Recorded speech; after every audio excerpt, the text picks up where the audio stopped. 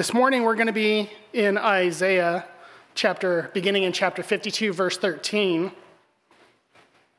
So please open your Bibles to Isaiah 52 13. It is the Christmas season, and we rightly should be celebrating the incarnation of the Lord Jesus Christ. The fact that God came to earth and became a baby some 2,000 years ago is an amazing truth and we should be in awe of the glory of that event. And that event had a purpose. Christ came into the world not simply to dwell with his people, but to go to the cross and die for his people, to stand in their place and to receive the punishment that they were due. During this season, we cannot forget that. And this morning, we get to remember that as we take the Lord's Supper. We remember his suffering and proclaim his death. And we remember this by taking a little cracker that reminds us of his body that was given, and we take a, a little cup of juice that reminds us about his blood that was shed at the cross. During this season, we often read through various accounts of the Gospels in the New Testament that describe the events leading up to and including the birth of Jesus. These accounts tell us that Jesus will save his people from their sins, according to Matthew chapter 1 verse 21, and that he will be great and be called the Son of the Most High, and the Lord God will give him the throne of his father David, and he will reign over the house of Jacob forever, and there will be no end of his kingdom. From Luke chapter 1, verses 32 and 33. These two passages tell us that Jesus will save and that Jesus will be king. And here in our passage in Isaiah, I want to draw attention to two descriptions of the Messiah the Messiah as king and the Messiah as savior. These descriptions were written nearly 700 years before Jesus was even born. Only God, who reigns over history and creation, can supernaturally say something will come to pass and ensure that it does. Please follow along as I read. We're going to be in two different parts of this. I'm not going to reread the whole thing again. We'll be in Isaiah 52, verses 13 through 15, and then we'll jump down to Isaiah 53, verse 11. Please follow along as I read. Behold, my servant will prosper. He will be high and lifted up and greatly exalted, just as many were appalled at you, my people. So his appearance was marred more than any man, and his form more than the sons of men. Thus he will sprinkle many nations. Kings will shut their mouths on account of him. For who, for what had not been told them, they will see, and what they had not heard, they will understand. And then jumping down to verse 11. As a result of the anguish of his soul, he will see it and be satisfied. By his knowledge and the, the righteous one, my servant will justify the many as he will bear their iniquities. This first description, beginning in verse in chapter 52, verse 13, starts off with the word behold. God is telling us to pay attention to what he is about to say concerning his servant. And then continuing in verse 13, God says, that his servant will be high and lifted up and greatly exalted. This description that God gives of his servant is a description that God reserves exclusively for himself. Throughout the book of Isaiah, God is the only one that is high and lifted up.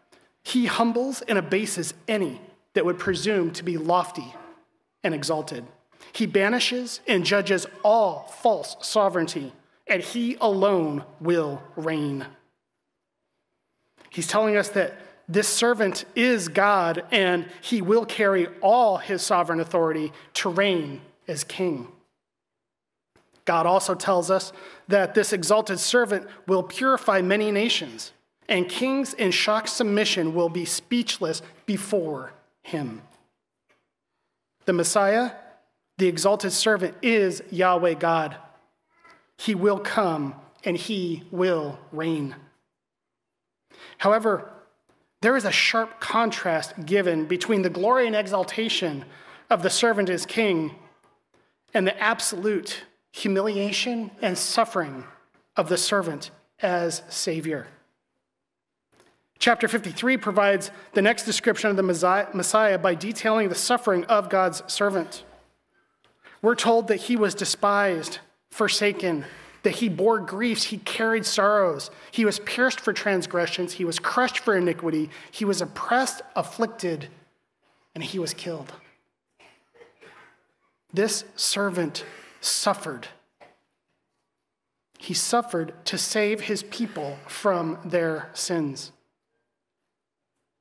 Look at the end of chapter 53, verse 11. My servant will justify the many, as he will bear their iniquities. This justification brings with it a courtroom imagery. This is a judicial clearing of charges. It's an acquittal. It's being declared not guilty. How, how does he do this? He does it by bearing iniquity, by taking the punishment that they deserve upon himself, by going in place of the sinner, by being their substitute. Jesus, the Messiah, the Christ, fulfilled this prophecy 2,000 years ago and roughly 700 years after this verse was written when he was nailed to the cross and suffered and died in the place of his people. We know that no one is perfect. Everyone in this room and everyone on this planet is a sinner and has rebelled against a holy God. And for that rebellion, everyone has earned the wrath of God. And one day, coming soon, every individual in this room will stand before the judge. The question is will you, in your own defense, stand by yourself?